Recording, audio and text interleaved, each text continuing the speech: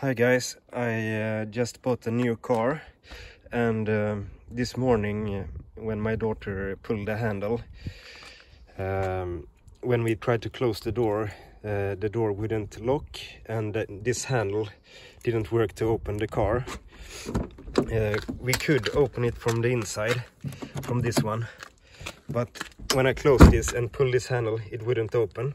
So I checked out some uh, YouTube videos and there was one guy he tipped about this that you flip this uh, uh, you flip that uh, back and forth and it should uh, yeah start to work again.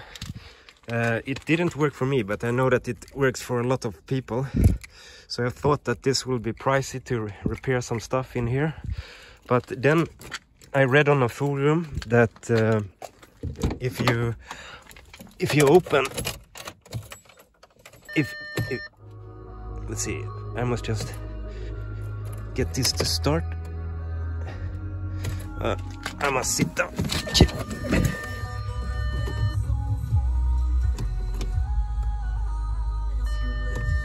Ignition is on. Okay it's my new car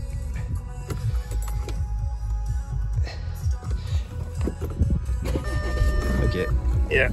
Okay. So what I did I pulled this this that handle the inside handle and the outside handle simultaneously a couple of times.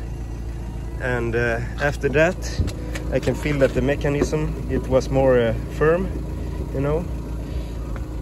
And it started to work. So th this is just a quick fix. Maybe the issue will come back and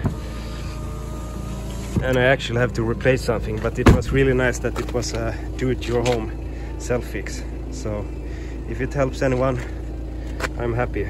Bye